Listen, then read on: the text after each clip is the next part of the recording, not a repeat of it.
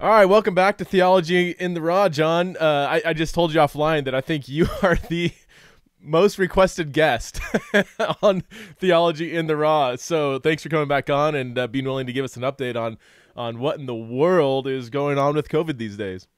Yeah, yeah. You're not going to get too much theology, but maybe uh, COVID. Uh, yeah, I almost said, well, they don't get that from me anyway, but uh, yeah. um, well, for those who don't know who you are, just uh, you know, I already read your bio and everything, but just maybe in your own words, explain. You know, what's your what's your nine to five job? What do you do? Sure. Yeah. So I I'm a senior biosafety officer for the University of Chicago. Um, I work out at Argonne National Lab in a high containment laboratory. It's called the Howard T. Ricketts Laboratory. Mm-hmm. Uh, so there's 12 in the United States. They're called regional biocontainment labs, and I work in one of them. And our kind of mission is to come up with therapeutics and vaccines for emerging infectious disease. Um, okay. So obviously anthrax, plague, Ebola in the past, but obviously the the the one on stage now is is COVID, SARS-2. So um, so that's what I do. I do a lot of training. I do a lot of um, training with personal protective equipment, risk assessment, um, kind of in the in, in, the high containment world. So we have it's been in the news a lot now with Wuhan with um, high containment lab and how they were work with working with it.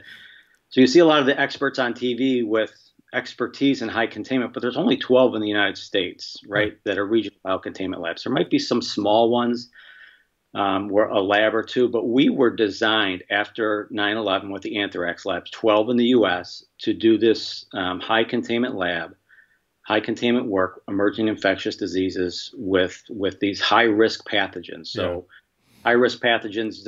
Pathogens are usually um, rated.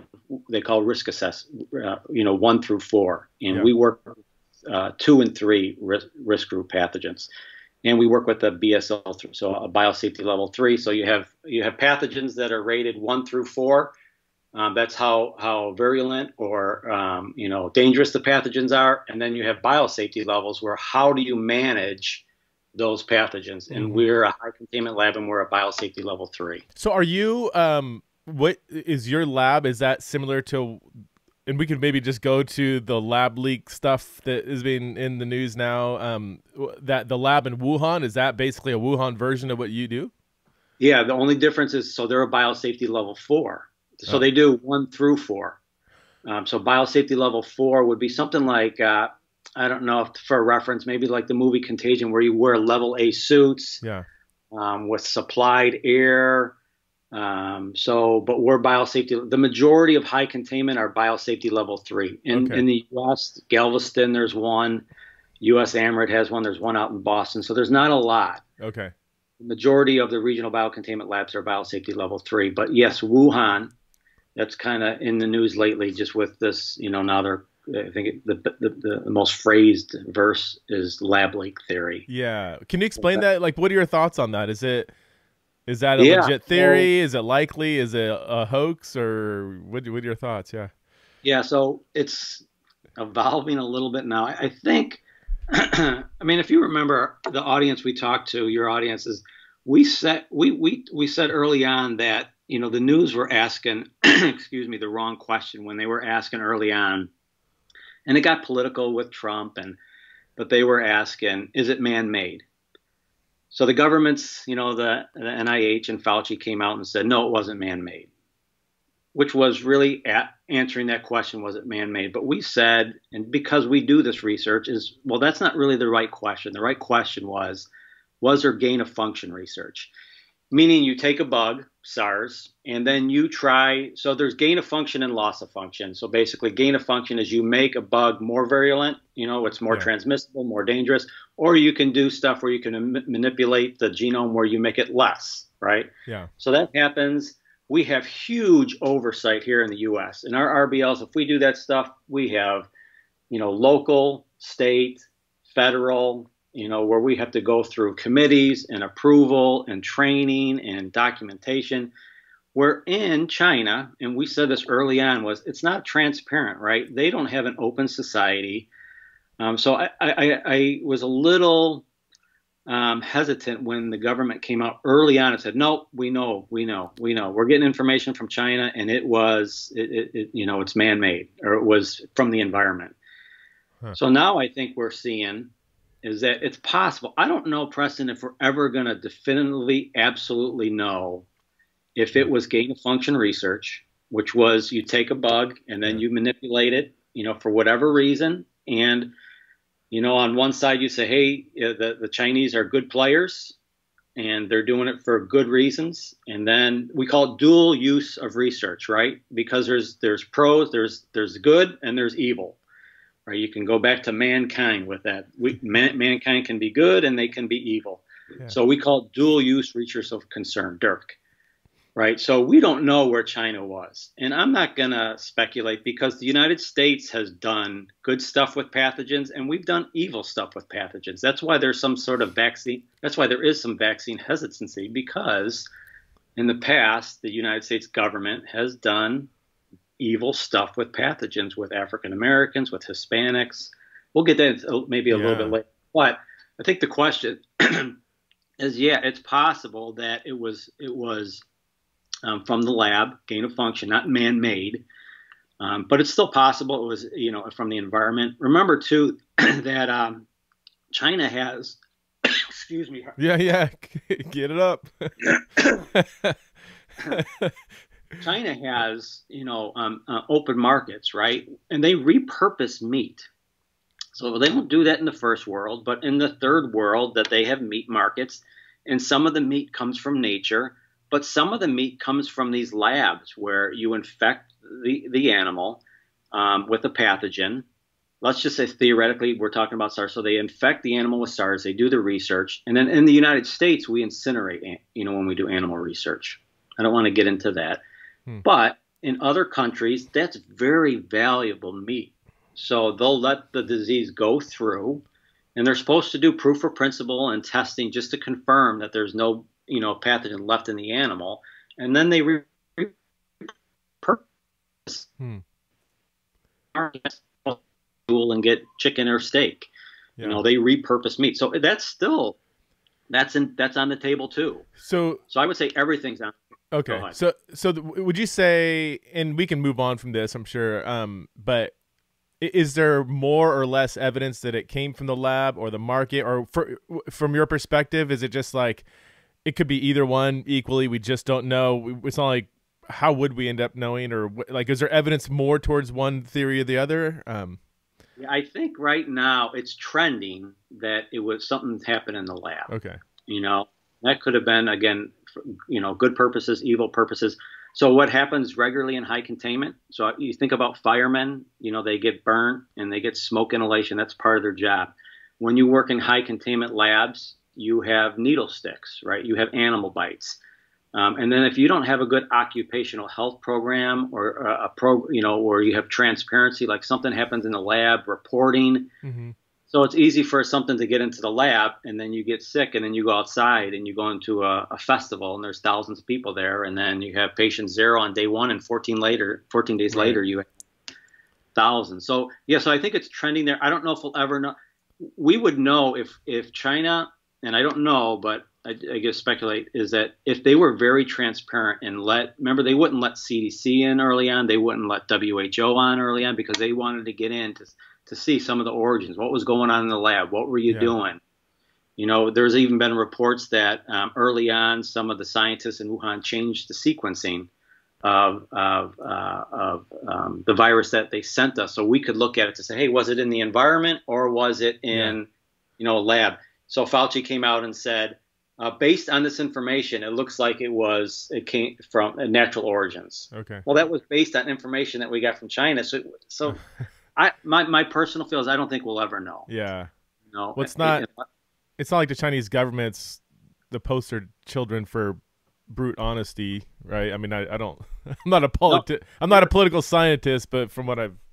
Right, yeah. and that's very fair. But it, it wasn't 50. It wasn't a generation ago where the United States was doing that. Where they yeah, were... let, let me let me restate that. It, it's not. It's not as if any government. I shouldn't I shouldn't pick on Chinese government. Like governments aren't known for being just super honest and uh, fair. And anyway. And when do we find out when the government hasn't been transparent after yeah. the fact, right? What it and would it matter? Like, what if we found out for sure? Yep, leak, lab leak. What what is? Does that make any difference at this point?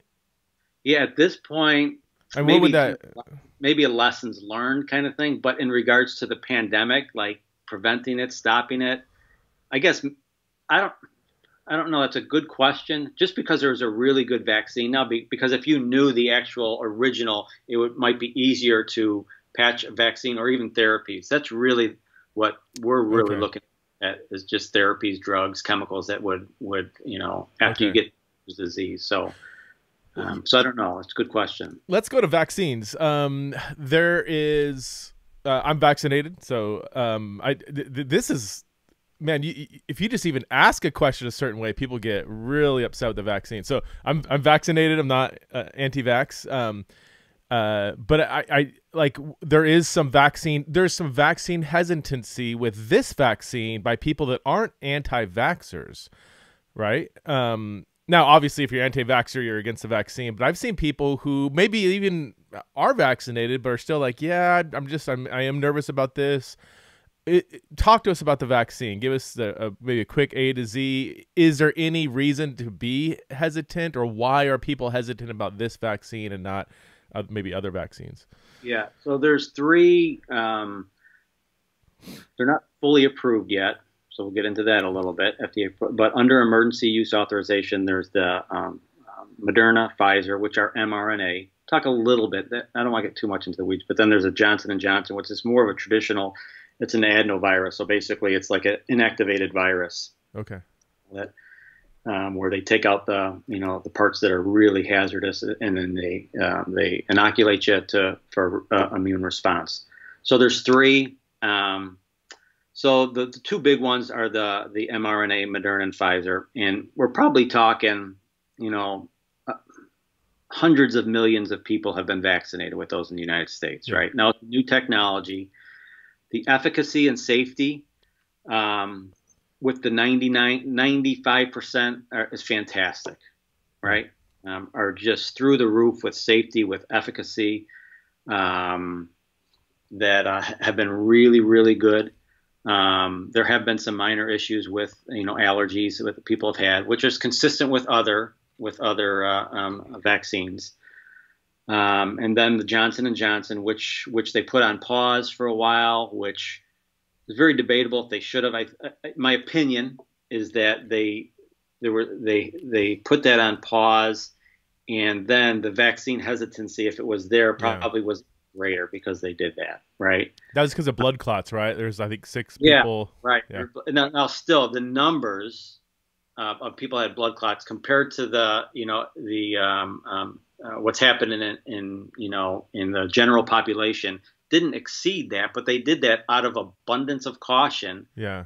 But if you go on planes with pregnant women, you know that risk would have been higher than Johnson and Johnson. So, so I get I, I get the argument. Hey, we're in a pandemic. Um, we got to do something.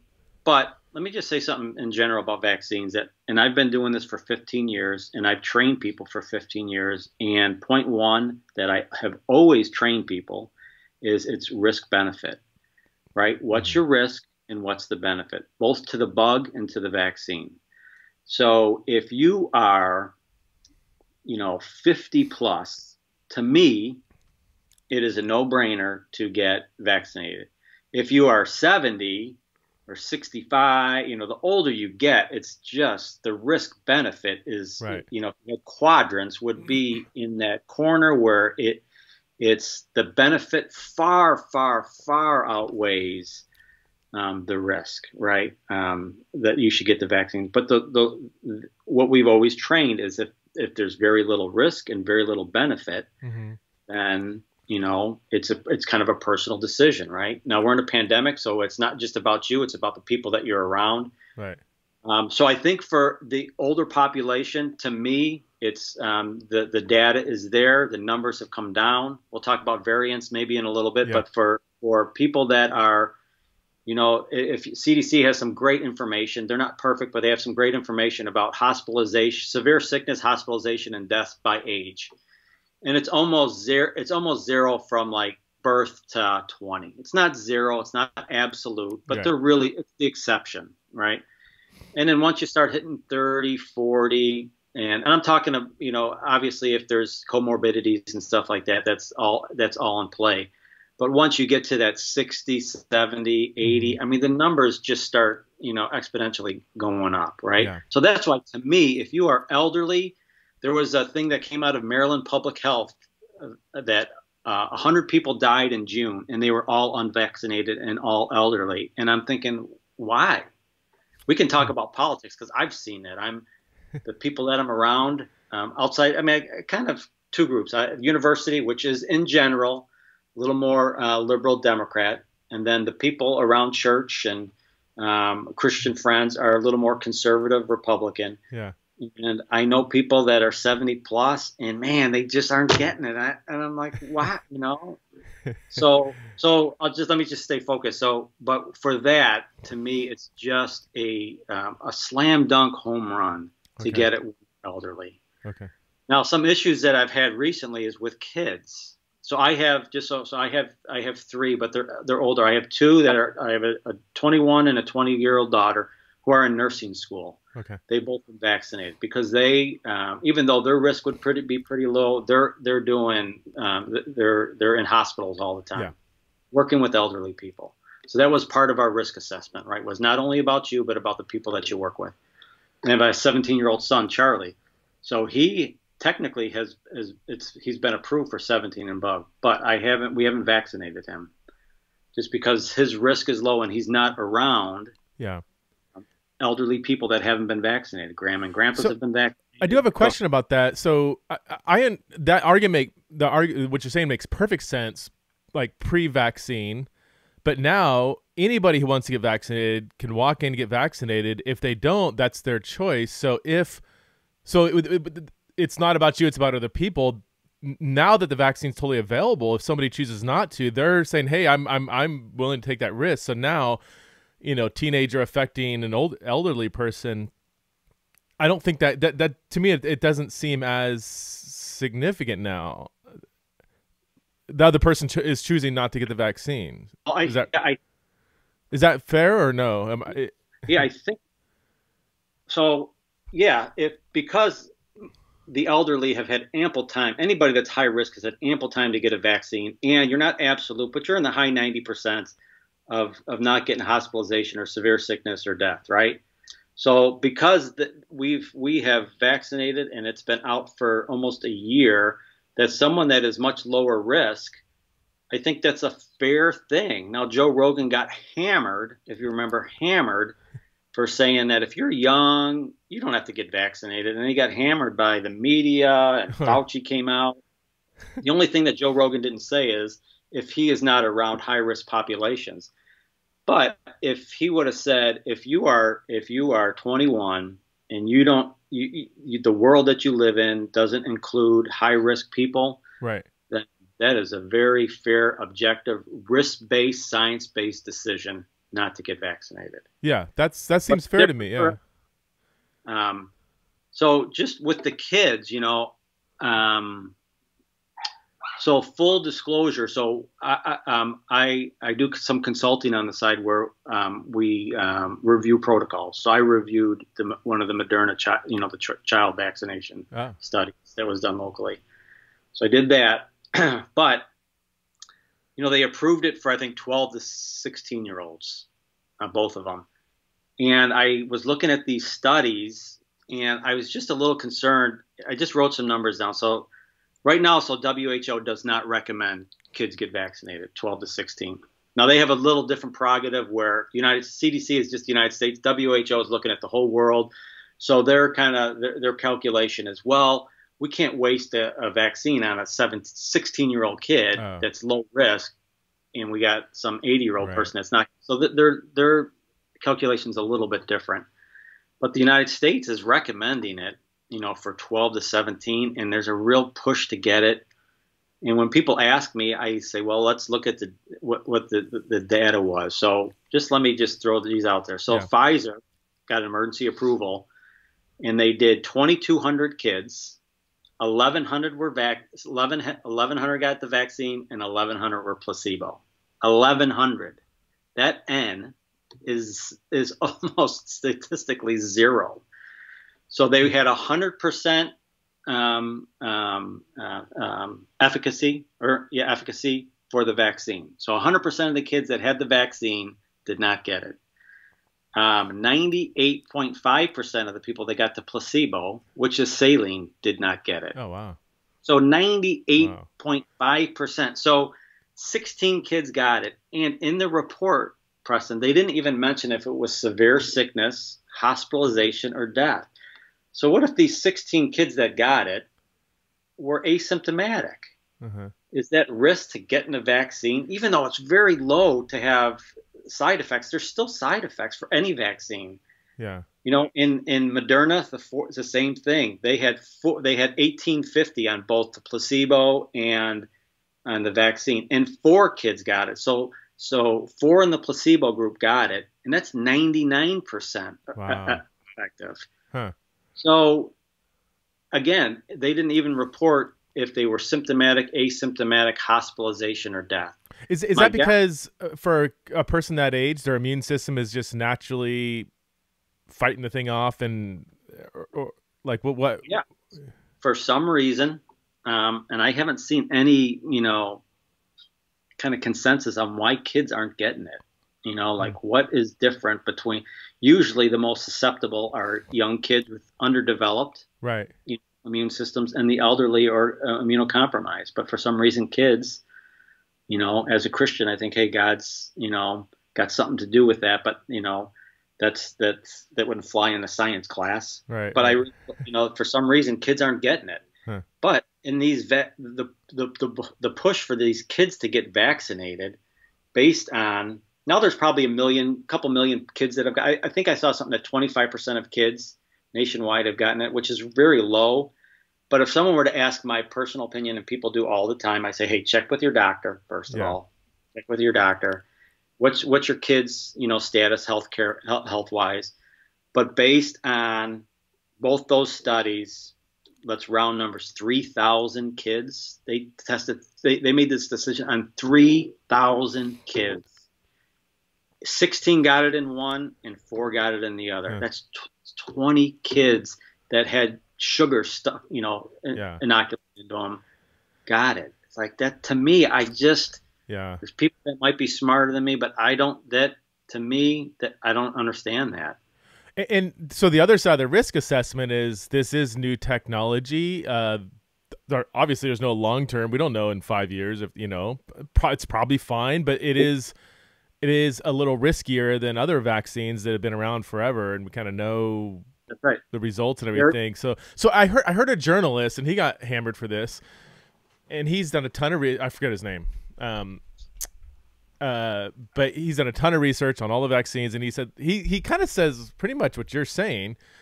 He says if you're at risk, I, I would get the vaccine. He said himself, he's like a healthy 40 year old. He says, you know, I'm not against getting it, but I'm really healthy. I'm gonna roll the dice a bit. I don't I don't think I'm highly at risk. But then he said, I've got ch- children under 20, and he said, over my dead body will they get this vaccine, and he got hammered for that.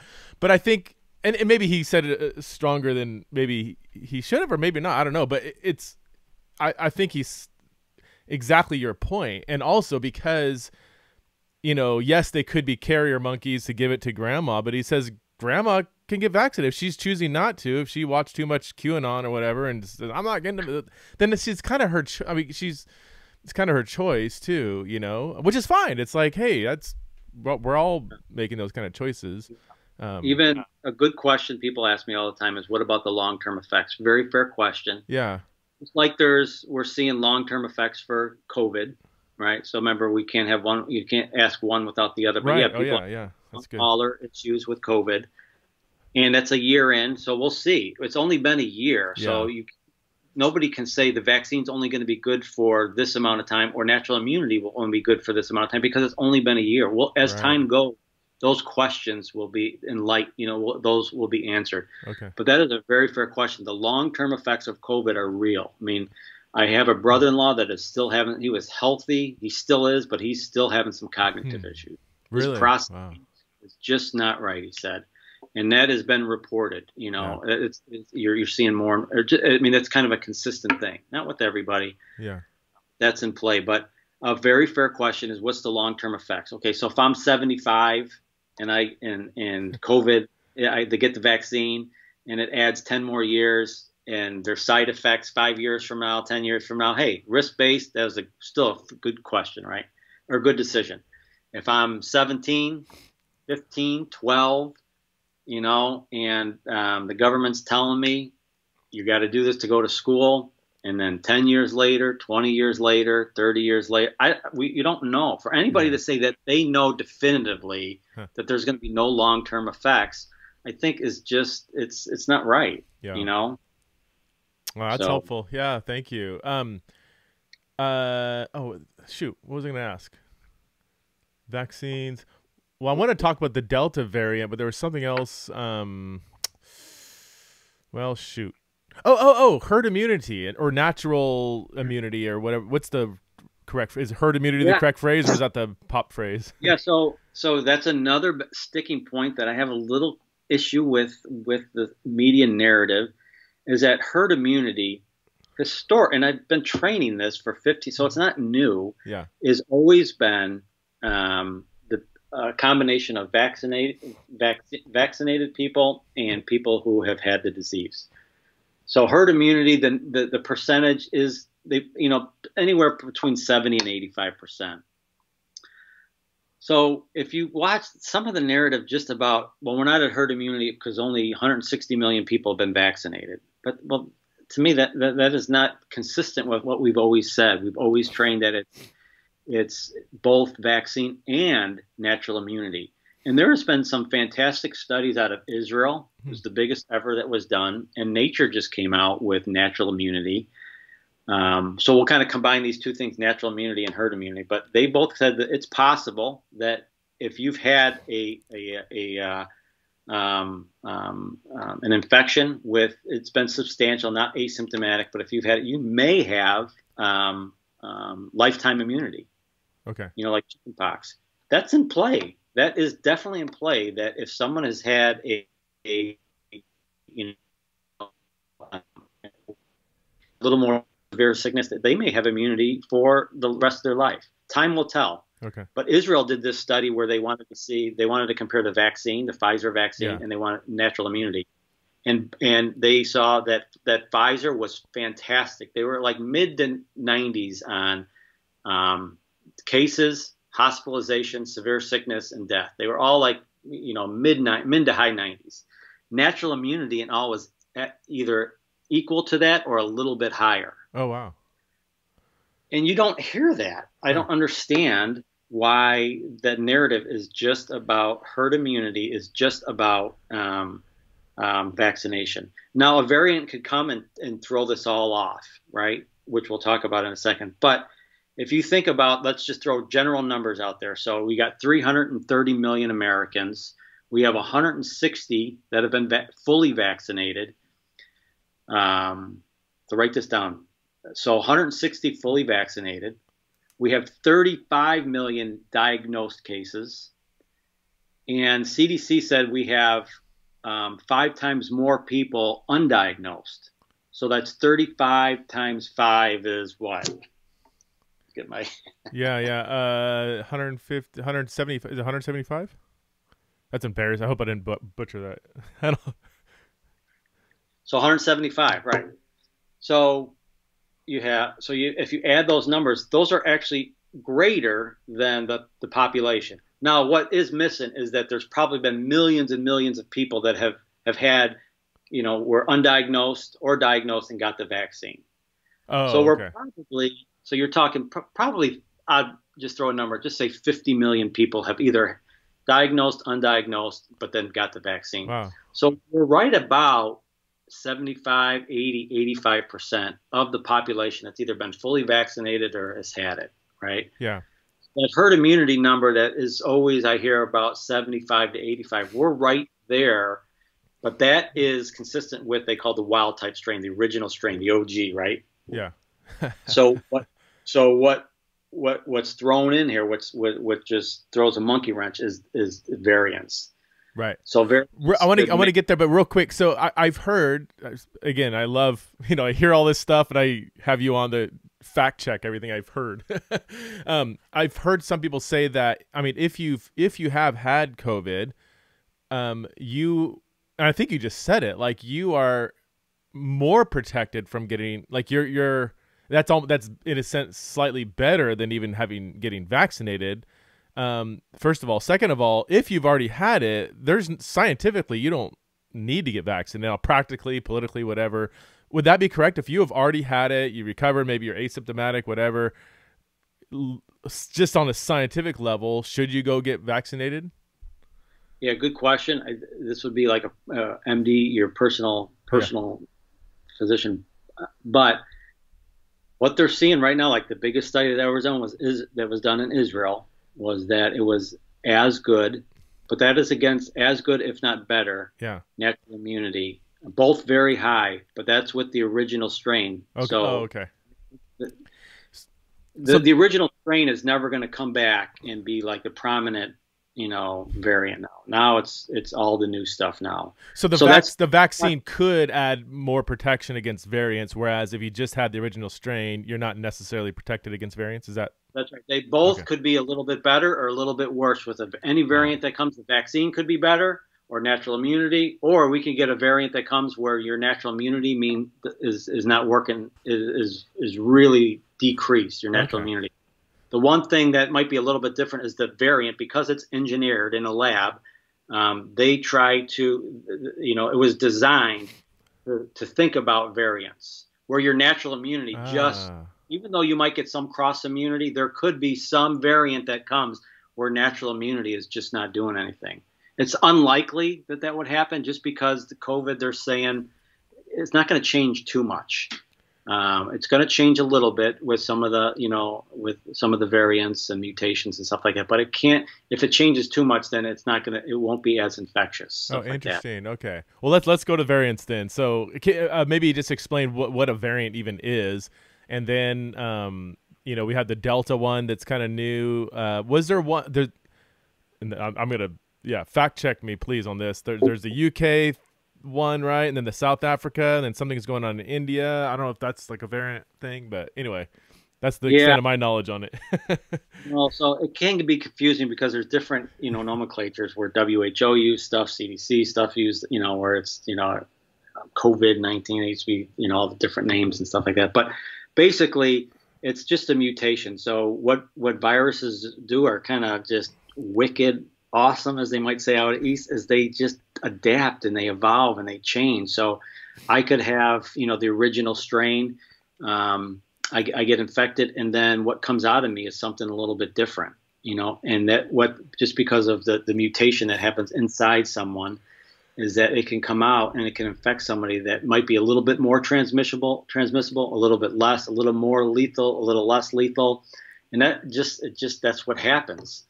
Um, just with viruses. So what you're seeing is you had the original, and then you're seeing we're at Delta. There was another one that was Epsilon that's come out, and so you're just gonna. It, this is gonna kind of ping pong from the developed to undeveloped, where you're gonna see this variant come from here and this variant go, and then kind of go back and forth. But the main one that we're talking about is Delta, the Delta variant, which is much more transmissible um, than the original. Um, and so basically, what that does is if you think about you know like a fuse on a bomb right? So you have you have a beginning of an outbreak and you had the original and you had a fuse that was 20 feet long before there was exponential growth in in an outbreak. Well what delta will do delta because it's more transmissible it, it, it's going to shorten that fuse. Okay. So from the time it starts spreading until you start seeing exponential growth it could start it happen a lot quicker. I just now just yesterday university of chicago which is very, very conservative when it comes to this. We're not mask. I don't have to mask anymore at work. Hmm. Um, but I just read that California is going back. They're going back to masking today. Huh. You know, so because of Delta variant, because Delta is really starting to increase. The numbers are still relatively low, but they're starting to, you know, it's starting to go from like zero to a thousand or something like that. So yeah, so I, I don't know the answer of where it's going. We actually started doing some research on Delta, which is with some you know different chemicals and drugs and stuff like that. But we definitely know it's it's more transmissible in regards to if it, it, it you know if it's more lethal. Um, um, we don't know that yet. Okay. Uh, but this is what's going to be kind of I don't want to say cool, but will be pretty cool to see is if you're going to see a huge difference between people that are vaccinated Yeah. and, and unvaccinated. This is like a real time science experiment So right we- here. We don't know if if you've been vaccinated. Uh, does that guard against Delta, or are you saying we just we're not quite sure? We're not quite sure. In the lab, it looks like yes, right? So they they'll call like you do lab studies, but not until you see human subjects, which Okay. we all are now. Will you really see? You know, the proof will be in the pudding, right? We have most people think that if you've been vaccinated, that uh, with Delta specifically, that you're going to have some sort of protection. Okay. Uh, what we don't know, and what we'll find out too, is natural immunity. We're going to find out if people that have had natural immunity, what happens with this Delta.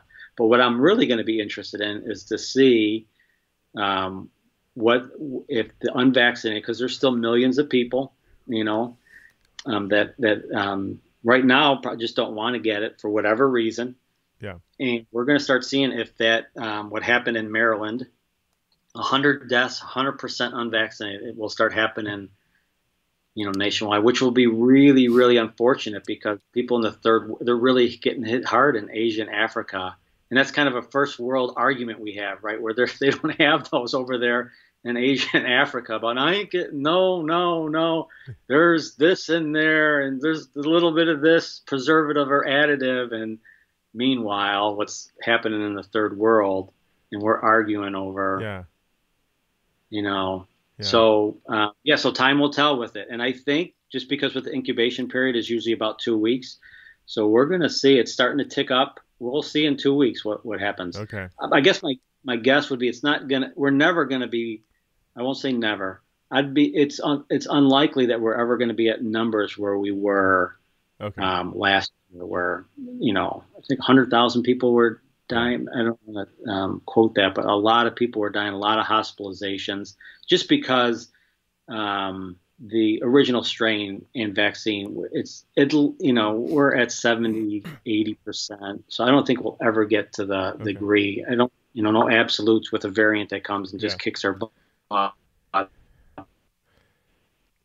um. Well, The, uh, so uh, the Delta variant. What was the UK and the South Africa? Are those different variants or the same thing? Or Yeah, I, I'm not sure how they if if it was UK and then they called it the Delta. I'm not really sure about the Okay. actual variants, okay. you know, the name. But yeah, different ones, and they're going to ping pong back and forth. You're going to see that. Yeah. You know, there's a lot of researchers that I know and that I respect that say the only way out of this is is people vaccinated worldwide, or else it's just gonna it's just gonna keep going.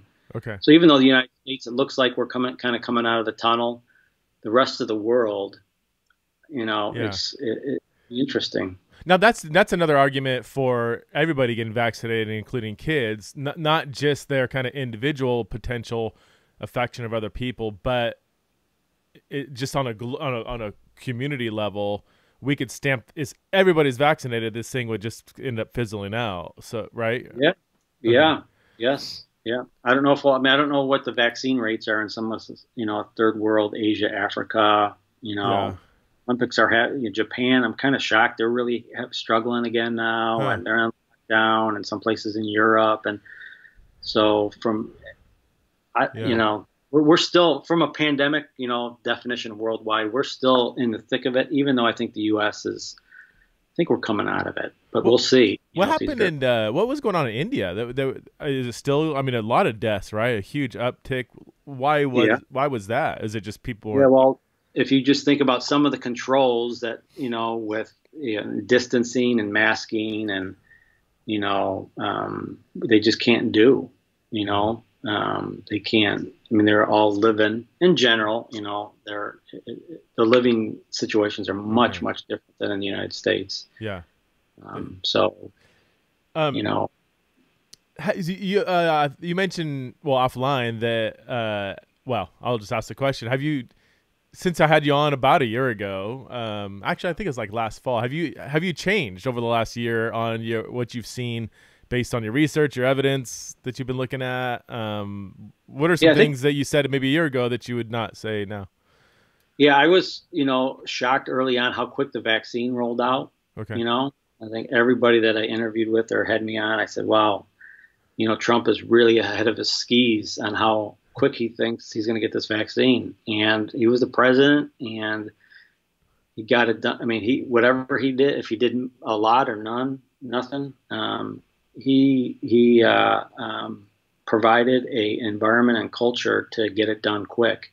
Mm. And uh, that happened, and I was rough on him with a lot of stuff, but he he mm. he did a good job with that, you know. So that's what I was surprised. I told a lot of people, well, just because I'm in vaccine research, and it takes years to get stuff, you know, through all the different governing agents and regulations, and you know, so he cut a lot of the red tape, you know, um, with funding, and I saw that firsthand. So someone says, "Oh, he didn't do anything," I, you know, we saw the funding come in really quick. Huh.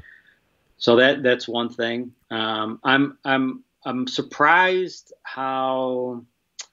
So I would kind of coin myself an evangel- evangelical Christian, but they're one of the people that aren't getting vaccinated. Hmm. It's blacks, Hispanics, and um, evangelical right wing um, Christians for some reason. And I understand the black and Hispanic. My in-laws are Hispanic. They're Mexican. You know, my my dad, my father-in-law's from Mexico, and he's seen some, you know, just uh, government um, corruption when it comes to that. So I get why that's he- they're they're hesitant. Is know, that why it's hesitant because of the history of people of well, color being? So I that's the lot that to me that makes sense why why African Americans and Hispanics would be hesitant because of even Indians where they use those as human subjects or they told them they were given the medicine and they were given them the you know the the, the infection and you know so there, we have a mm-hmm. history of that right so I understand that even though when if it came to your life, but usually when you're 60, 70, you're like you're you're dug in. So I understand that. What I don't understand is the the Christian community that it, there's an element that has become so right where it's just like a political Christian thing where and I know some that are great Christians and they serve and they're working in inner city and just doing the mission. But no, uh-uh, I'm not getting. They're 70 plus, and and it's a political thing to them where it's like it's almost where there's like an allegiance to this, you know, yeah, part of Christianity that is hard to find in the Bible. Is but yeah, that really shocked me. Who who on the right is anti-vax? I mean, I mean, Trump got vaccinated. He's pretty on the right. Uh, Ben Shapiro is pretty popular conservative. He's very pro vaccine. He's even pro mask. I mean, he's very libertarian. Do what you want, but it, when oh, when masks were a big deal, he was. Ab- so who am I? I mean, I don't listen to a lot of commentators, especially right wing commentators. But is there somebody on the right that's like? No, I think it's the it's the um, kind of the government conspiracy and okay. Uh, but there's an element into in in that that where uh, don't tell them it's it's my choice. You know, they always use the argument. You okay. know, I'm pro-choice. Well, if you can say that about a woman's body, I can say that about you know me getting vaccinated. And but it's almost sad, you know, especially when we talk about this risk-based thing, right? Hey, you're 18, okay, I get it. You're not around elderly people, I get it. But you're 70 plus, hmm. you know, um, maybe overweight, have compromised immune system, but you're just not getting it. I just don't Hmm. To me, it's just not a science based, risk based, you know, um, even a Christian ethic. You would probably be able to speak to that more with all the evidence that we have of why a 70 year old just wouldn't want to get it. Like, no, I'm good with that. Maybe that's okay if you want to die and you're not going to hurt anybody else and you just don't want to get it. I get, I guess there's, yeah, but it just kind of shocks me. it, it is. I mean, I, because everything's been so politicized and there's been a lot of just backtracking and changing of opinions. I, I, I can I can see where somebody would just say, I don't trust anybody anymore. Like I don't I, I don't it's like everything's like I, here, here's a thought experiment for you, John. Let's go back in time to uh, March or April. What imagine a world where Donald Trump was very much pro masking what would that world look like in the wake of that? yeah, I'm going to predict that anybody who's on the left would be anti-mask. yeah. I would say because right now it's very it's very much a right left thing, right? Like if you see someone with a mask, you know they're a Democrat nine times out of ten. If you see someone without a mask in a place where they should be masking, nine times out of ten they're going to be Republican. Why? Because it all comes down to right. I mean, t- yeah. because Trump was more anti-mask, especially early on, and everything's so polarized that either you're pro-Trump or anti-Trump. Either you, yeah. you know. But that, but even that alone, like that thought experiment, raises the question: How much of mask wearing or not mask wearing is even based on any kind of scientific convictions, and how much is based on political allegiance? I'm just gonna maybe cynically say it's so much more of the latter on both sides. Well, I do know. So one of the things, and I don't want to get into a math debate, but one of the things that I do, and not a lot of people do that, but I, I certify filters. That's what one of the one of the, my position descriptions. I have a photometer. I have an aerosol generator. I can decrease and increase the size of, of aerosols. I can put a piece of, piece of material, and I can quantitatively tell you how much is getting through a filter. Yeah half the people that are on TV don't they don't know crap, you know, excuse my language. They don't know anything about certifying filters or yeah. respirators, anything like that. They're just making a political statement or this is what I heard. That that's what I do. That's one of the things I've told people come to my lab, bring whatever mask you want, yeah. and you will see we'll generate some aerosol, whatever type you want. You want a big aerosol, you want small, you want a droplet. We'll put that through your filter and you'll see a reduction. So that that that just to me it's settled. Be- now it doesn't. It's not. Wait, wait. Sum- summarize your point. You're saying so wearing a mask does reduce the. That's right. Yeah. yeah. Okay. But what happened, and we talked about this early, not to retread it, but we talked about on the left. They said it's absolute. You wear a mask and you're 100 percent protected. and then the people on the right said masks. They're not. They don't. They don't anything, you know, They're political. And Fauci changed his mind, and he said this, and then he said, and I get all that, and that's what all the confusion yeah. is. But that's one of the things that I do. Yeah. On a daily basis, I certify filters. You know, those are filters you could just as a material. A mask is a filter. Yeah. You know, so but yeah, it's become politicized, and it's just you know, it's people on both sides. They don't know what they're talking about now, and they're it's, it's a political state. Yeah. yeah. So so, and maybe I misremembered, but I thought you said before that masks reduce the spread of droplets, but they don't is mu- they don't guard against aerosols, or is it they they still do reduce the spread of even aerosols? Or I, I don't know, maybe summarize your view on mask. And it. No, you're right there. So droplets, yeah, mask mask reduce a, you know, at least fifty percent of droplets. When it mm-hmm. becomes when it comes to aerosols, much less effective, much much less effective. But remember, we talk about dose too. So you get mm-hmm. infected based on dose, like how much. So obviously, the bigger the particle, the more dose of COVID you have. So a droplet is much bigger than an aerosol. Now, aerosol might, you know, they, they it, it can get in, you know, into your your airways and affect different ways, but the main route still is droplets. Aerosol is still in play, no doubt about that. Masks are not nearly as effective um, at, at um, but it still reduces. I can put it, I, I can take an aerosol generator, really small. The most penetrate. We'll get a little sciencey now. The most penetrating particle is the one that's 0.3 microns in size. I can take my aerosol generator and I can make it 0.3 microns, which is the most penetrating, mm-hmm. and I can put it through a filter and and, and have a, a, instrument called a photometer, and I can measure it, and it reduces. It, it's much less with aerosol. There's no doubt about that. Okay. I think people on the left in general said, "Oh, it protects you against everything, and that's not true either. And it's it, the kind like when you walk around, or maybe several months ago, and see people wearing masks. Are you like, are they are they on right? Uh, what the cloth mask? What about bandanas? And I remember I was in I was in uh, some Mexican food joint while back, and there's some twenty something girl. I swear she had like a lingerie mask on it's like, oh, it's, she's covered, but it's like I can see her teeth. Like I can see. oh, um, like there. Does it depend? Does it depend on what kind of mask and how they're wearing it? And are you seeing people like, yeah, they're definitely as long as something's on your face or. I mean, I'm in Indiana, so I don't see anybody mask anymore. but in Chicago, yeah. still people are. But yeah, that that's all in play, right?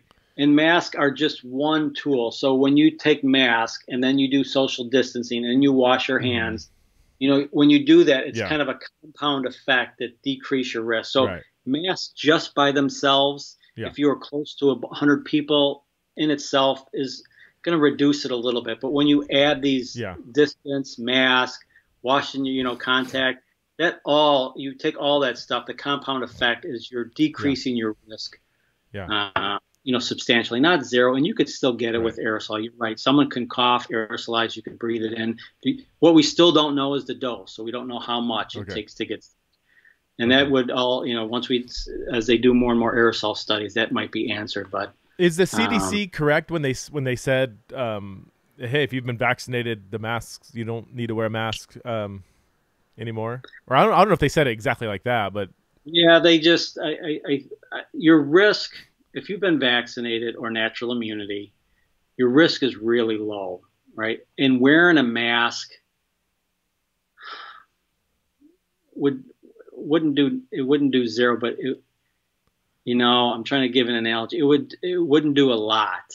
It, it would help a little bit, right? Especially if if you were around someone that was symptomatic, or let's say I was I I was symptomatic me wearing a mask would really prevent a spread of my droplets to someone that's vaccinated or not vaccinated. Now, the person that's been vaccinated is probably going to be, if they do get it, I, I know a lot of people that have been, not a lot, I know a handful of people that have been vaccinated that got it, but they were very, very um, asymptomatic if, with little sim- or some with little symptoms. So wearing a mask would prevent that, would prevent a big droplet coming, a big sneeze coming out, and just someone just um, breathing it in. So it would help a little bit. okay, okay. Uh, where where else have you uh, changed your mind on anything, or not changed your mind, but like based on further study? Is there anything else um, that you?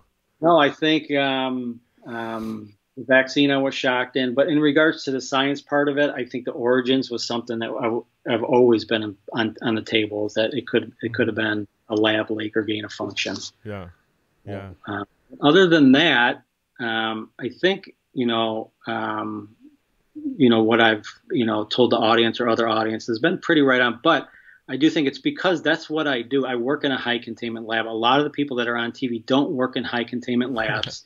You don't know what gain of function is.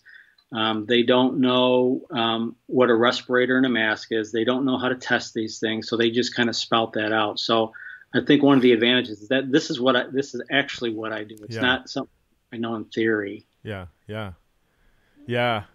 Um, in the fall, uh, is there any reason why schools shouldn't be fully back in school? I mean, is that? Um, I, th- I think everybody's going back to school in the fall, isn't it? Or you said California, they're going back, but they're going to require masks, or Yeah, I don't. I just heard that this morning, so Okay. that could change a little bit. But yeah, I so my son was in high school and he was a he went. I had him go back 100. percent They had an option last year, but I think most schools around here are going back 100. percent The only caveat would be the union-run city of Chicago schools that that run the show there, which is kind of sad. But um, so interesting to see what with something I might.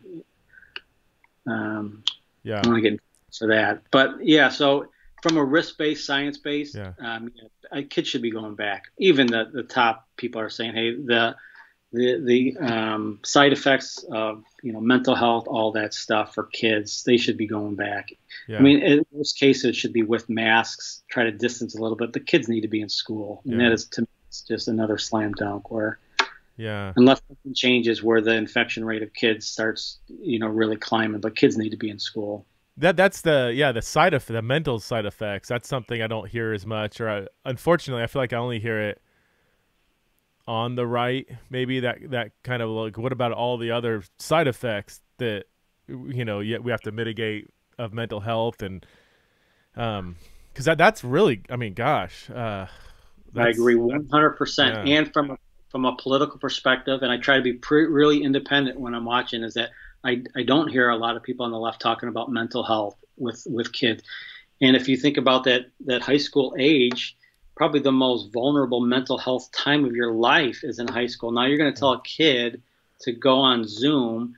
I think the ghosting in city of Chicago, CPS, of people not even going on Zoom, it was like 70%, Preston wow you can't have kids, let alone in in in in families that you know have mom and dad and just following up with them. But if you don't have any follow up, yeah way. I think if I was a kid, you know, my dad died young, so it was just my mom, single mom who worked, And if he told me to sit in front of a computer for eight hours to go to Yeah. school, I'd be like, "Yeah, right." Yeah. Um, Yeah. So yeah, kids need to be in school because and the mental health is huge. We Yeah. don't even know the long term effects of that, right? Right. Right. Yeah. Well, John, thank you so much for uh, sticking your neck out there. I know probably everything you have said is, you know, uh, debated and and you know people might disagree or whatever. But um, I love having you on because, you, like you said, this is this is what you do. You're not just some person who's read some studies. You're you're doing the studies. So uh, thanks for being willing to come on. I know you probably got a busy day out there in Chicago. So. Um, yeah, best luck to you. I'll probably call you in a couple months and say, hey, John, oh, something else flared up. I need to have you back on. Let's do it, Preston. I appreciate your time. All right. Take care, man.